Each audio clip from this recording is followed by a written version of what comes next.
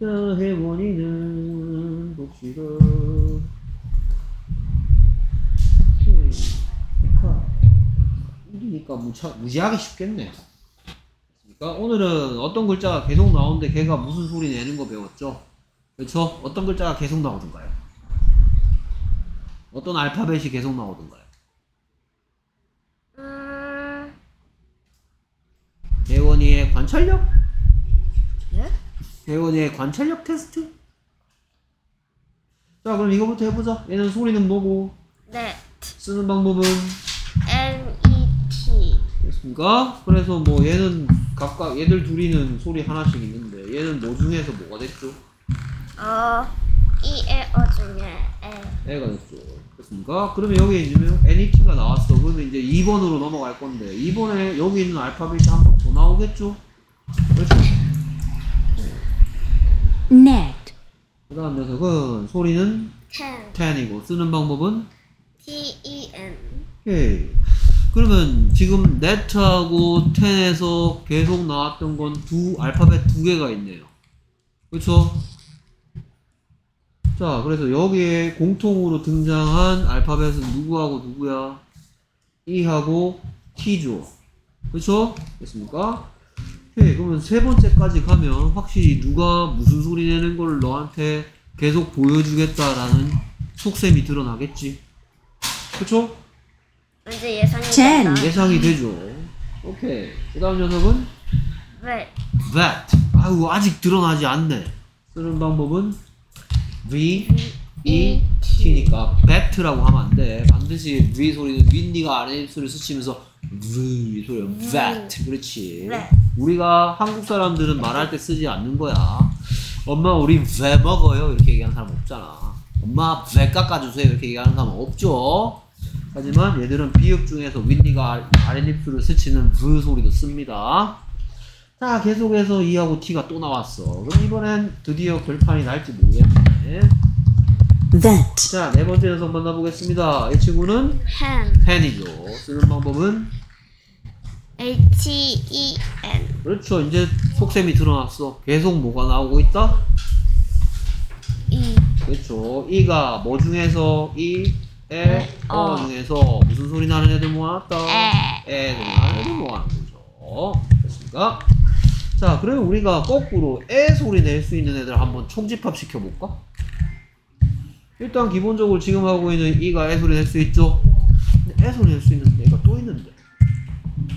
에 소리 낼 수 있는 거고요. 이 보컬 아, 보컬 지금까지 선생님이랑 같이 했던 네가 phonics라고 하는 voca 수업에 voca나 아니면 어. A하고 B 레벨 할 때 하나 남았어. 음 이게 북한지 딘지는 모르겠지만 이거 한번 읽어볼까? Where bear. 그렇죠. 그럼 애 소리 낼 수 있는 녀석, 발음한 녀석은 얘는 소리가 두 개지. 그렇죠. 뭐하고 뭐, 이, 에. 애 소리 낼 수 있죠. 이하고 이에는 애 소리 낼 수 있다는 거 기억해 두시고요. 예, 이제 다음부터는 1차 처리로 가자. hen, 예, 다음 녀석은 Pen 펜이고 쓰는 법은 P E N 자, 이런 단어도 있어. 이거 읽어보세요. Pen 펜. 이거는 어떻게 생긴 거냐? 이렇게 생긴 거. 이걸 보고는 뭐라고?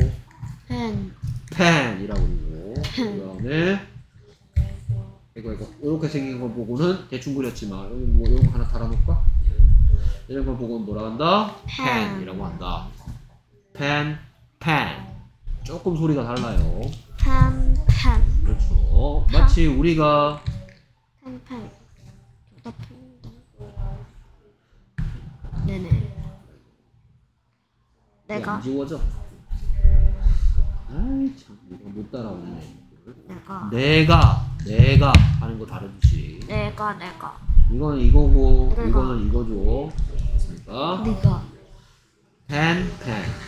내가 네가 오케이. 그래서 Red red 쓰는 법 R E D 그렇죠. red, 오케이. Sled sled 쓰는 법 S L E D 그렇죠. sled. 그다음엔 Bag bag B E E, 뜻이란다. bed, 자, 이렇게 생긴 단어도 있어. 어떻게 읽을까요? bed bad. bed 얘는 반대말이 뭐지?